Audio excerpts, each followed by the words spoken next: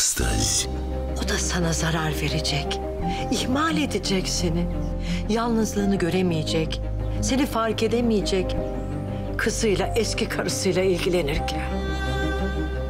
Kendini hep ikinci plana atılmış hissedeceksin. Şimdi Nazım soğuk. Ama çocuğun onun kızı olduğu ortaya çıkarsa o da yumuşamaya başlayacak. Ne yani yarın kazılacak mı Halil'i gömdüğümüz yer? Evet.